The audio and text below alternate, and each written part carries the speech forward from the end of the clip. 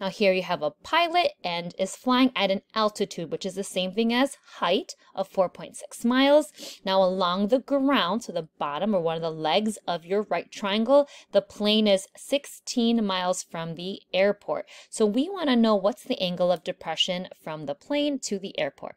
Remember my angle of depression, I got my horizontal line of sight and then looking down at, in this case, my airport, that forms my angle of depression.